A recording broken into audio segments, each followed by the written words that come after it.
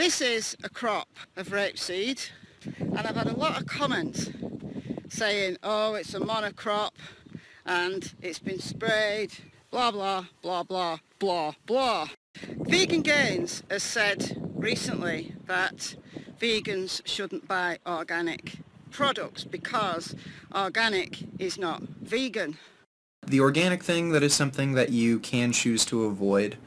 Um, I'd avoid most organic produce because they do use a heavy reliance on manure. Not only is that just potentially dangerous because it's literal shit, um, but you are indirectly making it easier for the meat industry to be profitable. So uh, for the for that reason, I'd say avoid organic. If organic products are fertilized by manure, then there is obviously a buy-in to the animal farming industry. But if a product isn't organic and it's fertilized by another means, then what is that other means? What is that other means?